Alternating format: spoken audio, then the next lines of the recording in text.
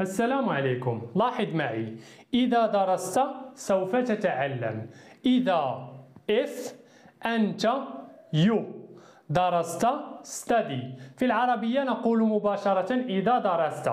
لكن في الإنجليزية عندما يكون لدينا الفعل يجب أن نكتب ضمير الفاعل. أنت درست. أنت سوف تتعلم. نقول أنت you سوف will تتعلم. Learn. If you study you will learn. إذا كما تلاحظون هنا استعملنا كلمة if.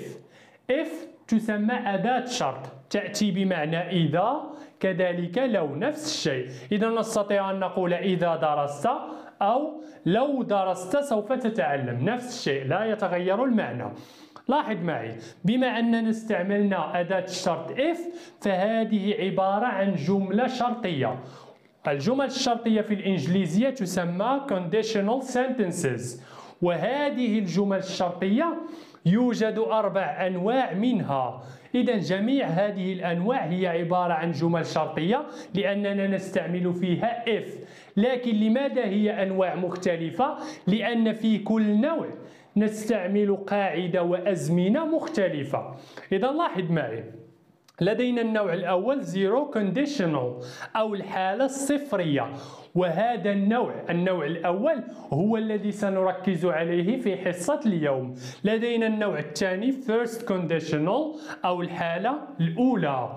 second conditional الحالة الثانية. third conditional الحالة الثالثة. إذا كما قلنا سنركز على النوع الأول من الجمل الشرطية. تسمى zero conditional أو الحالة الصفرية. متى نستعمل هذا النوع؟ عندما نتحدث عن أشياء حقيقية وممكنة أشياء تكون بديهية واضحة. يعني إذا دفعت بابا فإنه يفتح والكل يعلم بأن هذا الشيء صحيح. إذا دفعت الباب الباب يفتح. الآن بالنسبة للقاعدة كما تلاحظون الجملة الشرطية تكون مقسمة إلى شطرين لدينا الشطر الأول فاصلة ولدينا الشطر الثاني. الشطر الأول إذا دفعت بابا وهذا يسمى الحالة أو الموقف يعني الشيء الذي نفعله. إذا ماذا نفعل؟ ندفع بابا. ولدينا الشطر الثاني فإنه يفتح وهذه تسمى النتيجة. هنا الحالة إذا دفعنا بابا النتيجة الباب يفتح. وبالنسبة للقاعدة في الشطر الأول نستعمل أداة الشرط if ونصرف الفعل في زمن المضارع البسيط present simple.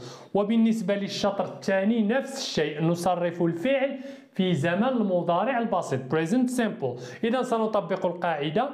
إذا if كما قلنا في العربية نقول إذا دفعت. لا نستعمل ضمير الفاعل. أما في الإنجليزية عندما يكون لدينا الفعل يرافقه ضمير الفاعل. إذا نقول أنت you. دفعت. هنا الفعل دفع. كما قلنا سنصرفه في زمن present simple. وفي زمن المضارع البسيط الفعل يبقى كما هو.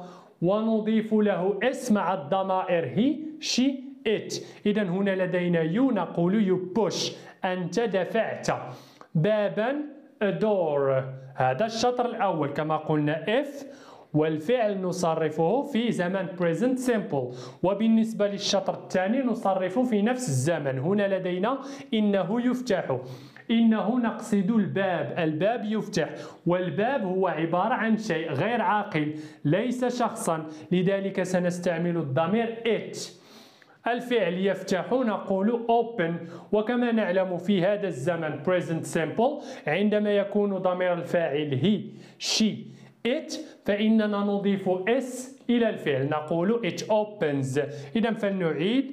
if you push a door it opens.